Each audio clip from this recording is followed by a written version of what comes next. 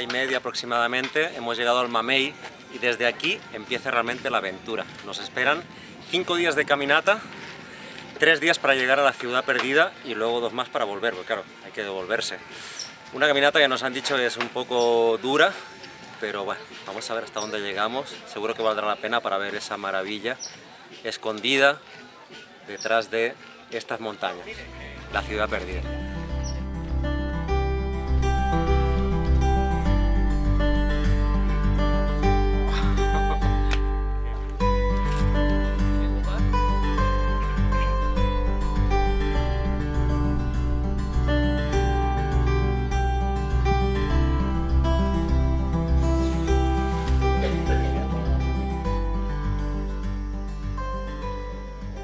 Empieza el segundo día de ruta. Hoy hemos dormido aquí en el campamento número uno, en, en unas hamacas, eh, y se ha despertado así un poco frío, porque realmente es, es húmedo, ¿no? Entonces a la noche refresca. Pero bueno, hemos dormido más o menos como hemos podido, y hoy empieza el día, yo creo, más duro, el que son más horas de, de caminata. Eh, y vamos a llegar ya cerquita, cerquita. Cuando lleguemos a última hora del día, vamos a estar como a una hora, hora y media de Ciudad Perdida. Aquí podemos observar parte de las escaleras de la cultura tairona que ellos tenían, se comunicaban de Ciudad Perdida a Pueblito que está dentro del Parque Tayrona. Es un promedio de 53 kilómetros que hay y todo el camino era así construido en piedra. El pueblo se llama Montachi, es un pueblo de los Kogis que antes fue habitado estos sitios por la cultura tairona. Tienen unas casitas arriba, las fincas.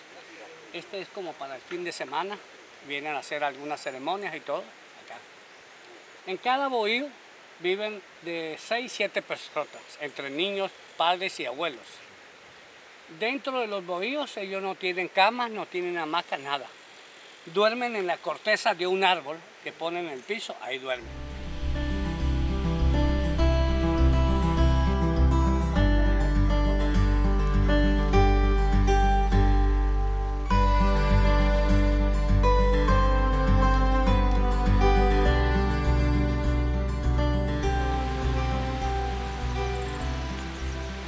Después de una caminata de tres horas y media, hemos llegado hasta esta piscinita, un refrescante baño.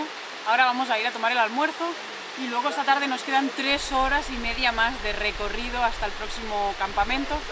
Por suerte que el camino tiene unos paisajes increíbles y te ofrece relax como estos, porque si no esto es durillo, ¿eh? para los que no estamos acostumbrados a caminar, pero bien, bien, se aguanta.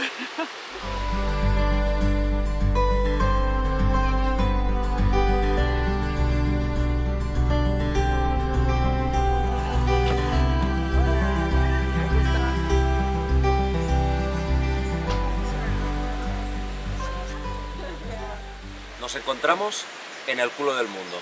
Estamos aquí rodeados de selva, con este río fantástico que nos ha acompañado durante toda la noche. Y estamos ni más ni menos que a 1240 sagrados escalones de la ciudad perdida. Y digo sagrados porque son los escalones originales que hicieron los Tairona. Así que hoy nos va a quedar sudar un poquitín hasta llegar a, bueno, al lugar tan esperado, ¿no?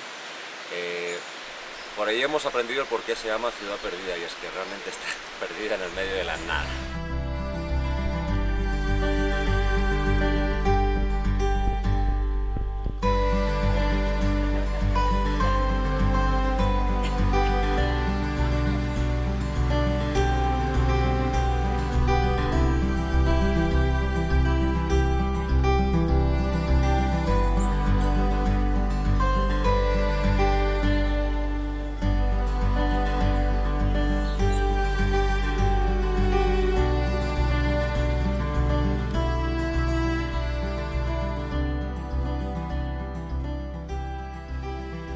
No me extraña que este fuera el centro espiritual de los Taironas, porque se respira una paz, una energía también especial, un- una calma que otros lugares que eran también ceremoniales ya no tienen, quizá por la masificación del turismo. Aquí como está tan lejos, cuesta llegar, pero la recompensa es espectacular y apetece ¿no? quedarse aquí, escuchar la cantidad de aves que hay y cargarse de energía.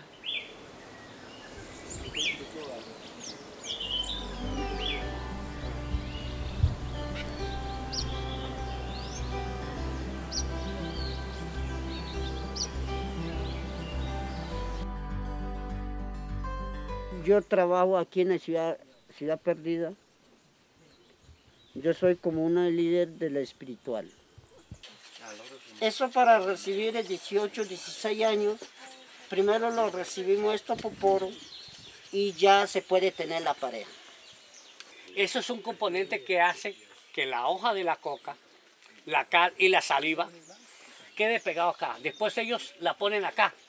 Y a medida que van poniéndose acá, eso va creciendo, eso le va dando vida. Y entonces con esta, con esta sale mucha algo cosa como que va a pasar, problema, enfermedad, avalancha, lluvia, sol, va a quemar la tierra, va a quemar el agua, porque esas tierras son las hojas de árboles. Entonces eso van a quemar 29 años, va a terminar el mundo Colombia.